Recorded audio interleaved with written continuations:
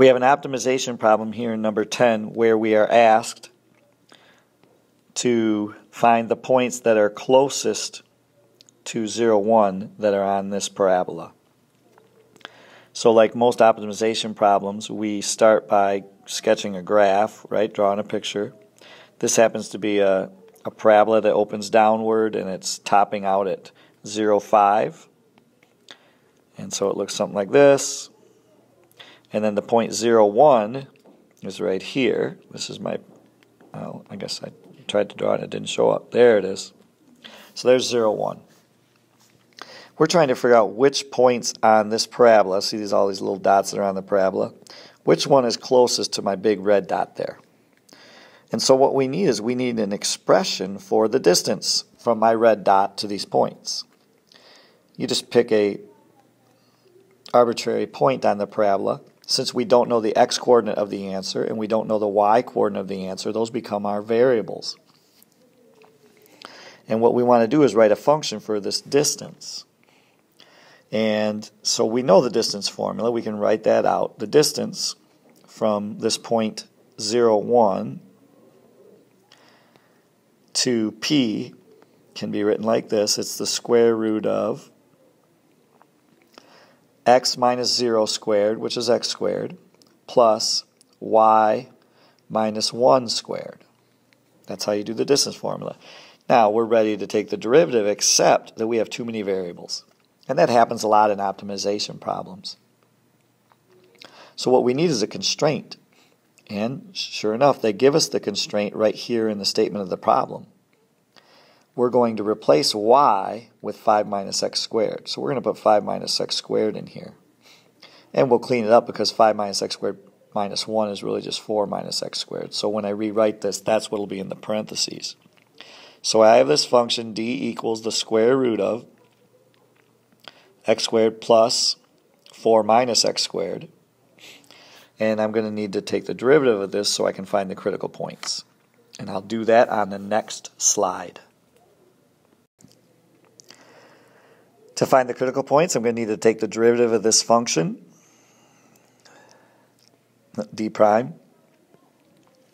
And so we've done a lot of functions where you have to find the derivative of the square root of some expression underneath, we know that on the bottom of this, on the denominator of this derivative, we're going to have 2 square root of that same function, x squared plus 4 minus x squared, squared.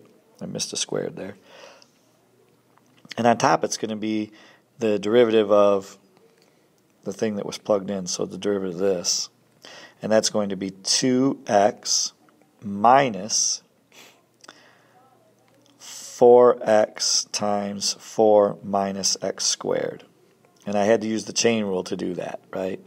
Bring the 2 down, and that's 4 minus x squared to the first power times negative 2x, and I just cleaned it up. So we have this derivative, and I guess I should probably just simplify the numerator a little bit. When I distribute the negative 4x to the 4, I get negative 16, so that makes uh, negative 14x and then when I distribute the negative 4x to the x squared, that's plus 4x cubed.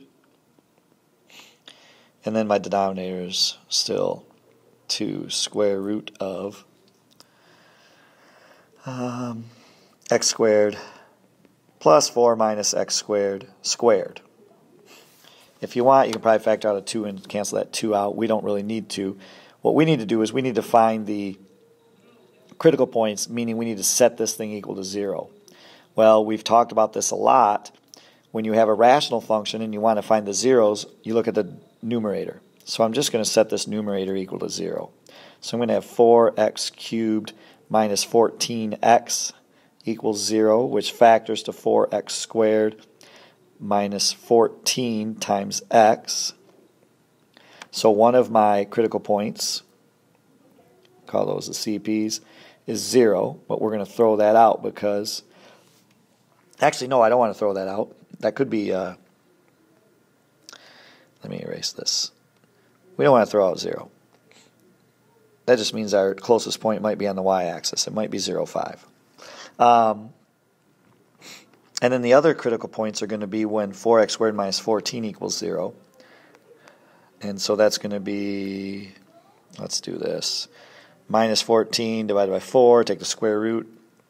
x is going to be uh, the square root plus minus square root of 14 over the square root of 4, which is 2.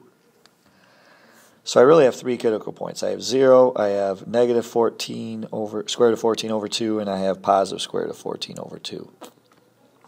And I just need to see what's happening with those. One way to check this out is to make a sign diagram on this derivative, right?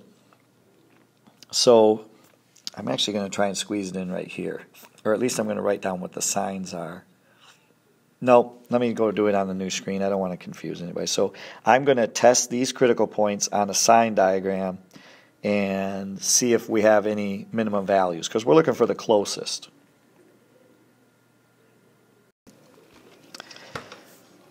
So I went ahead and set up the sign diagram. I have the three critical points, which are negative 14, uh, negative square root of 14 over 2, uh, 0, and square root of 14 over 2. This is a 14.